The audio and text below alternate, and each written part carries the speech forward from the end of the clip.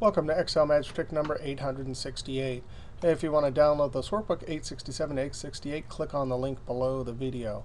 In this video, we have a data set, and I want to conditionally format the entire row anytime we have not type 1 in this column and the age is between 15 and 19.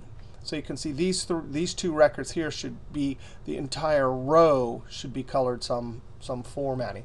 Now, in our last video, we saw how to do averaging based on not and between criteria. This video, we'll just see how to do conditional formatting.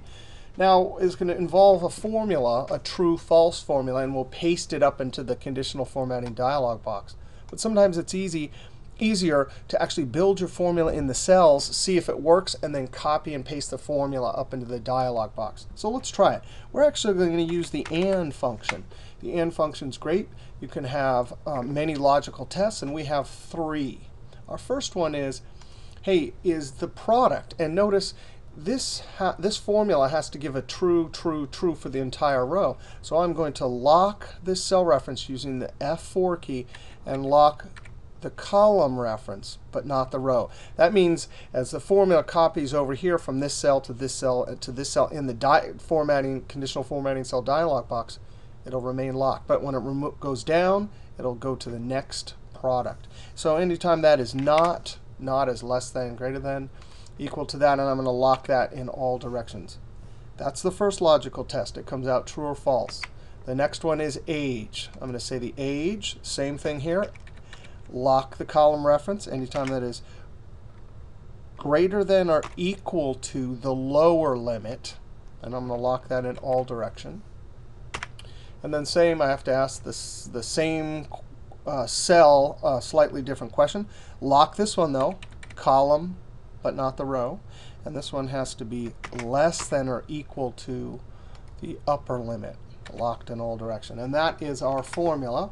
And using three uh, logical tests, notice when we have between criteria, there's, there's always two, an upper and a lower uh, and mixed cell references. So now we copy this over, and we will see how this is going to work inside of the dialog box. Because when you do conditional formatting, you take this formula and paste it, but it does it all in memory.